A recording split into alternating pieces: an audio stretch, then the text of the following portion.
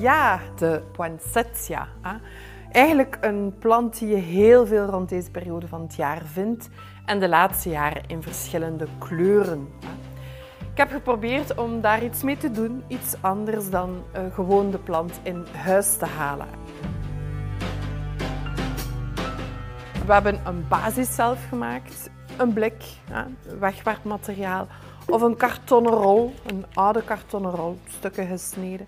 En die gaan we bekleven met schors, gedroogd schors.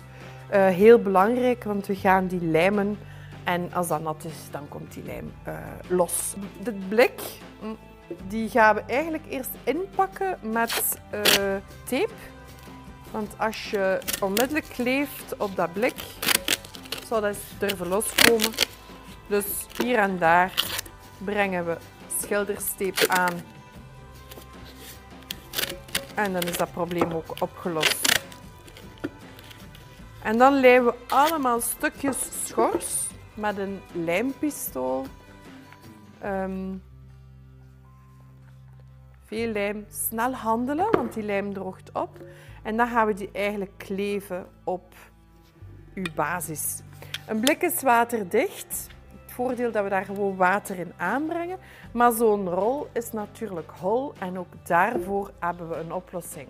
Neem gewoon een klein vaasje en dan kan je dat daarover zetten en kan je je bloemen daarin kwijt.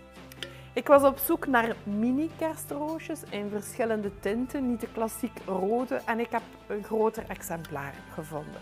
We gaan uh, de bloemen schuin aansnijden. En schuin bedoel ik, ik ga het proberen tonen, echt en vrij kort. En we ritsen het overtollige blad eraf en we gaan dat op water zetten. Het is een euphorbia en euphorbia of wolfsmelk, daar komt een uh, witte stof uit. Hè. Het kan giftig zijn. Ik lees heel verschillende dingen.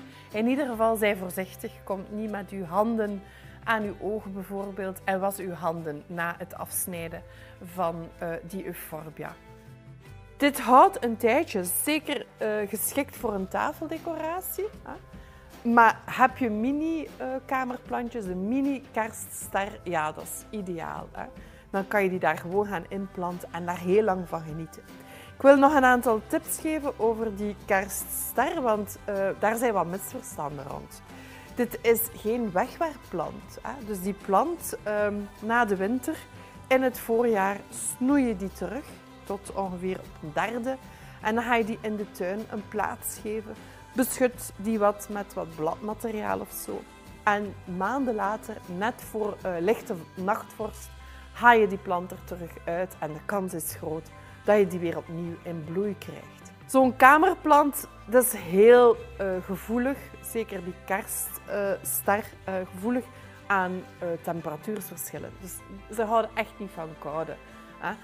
Um, gematigd kamertemperatuur is eigenlijk ideaal. En eenmaal per week laten onderdompelen.